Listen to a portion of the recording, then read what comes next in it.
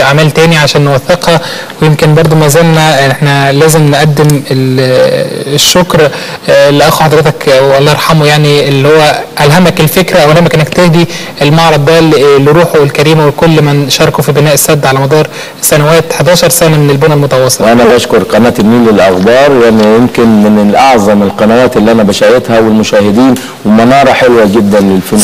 شكرا للفنان التشكيلي أحمد عبد الجواد وصاحب معرض بيوتي بين نشكرك شكرا جزيلا. شرفتنا يا فندم. شكرا ليك على حضورك. ألف شكر. آه، بنذكر حضراتكم مرة ثانية بعناوين الأخبار. اليوم انطلاق مؤتمر جنيف 2 بمشاركة نحو 40 من آه، من الدولة لرحلة سبل انهاء الصراع في سوريا والمعلم بيؤكد أن موضوع الرئيس السوري بشار الأسد خط أحمر.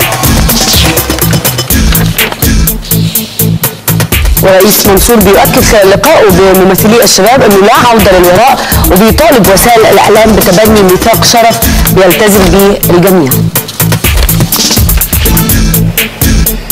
خلال لقائه بوزير الداخلية السيسي يؤكد أن القوات المسلحة والشرطة ستتصدى بقوة وحزم لأي محاولة لتهديد أمن مصر وبالتحديد في ثورة يناير. وقفه سريعه مع موجز لأهم الأنباء مع الزميله إيمان عبد الباقي هنرجع بعد كده نستكمل هذا الصباح. ايمان. شكرا لميس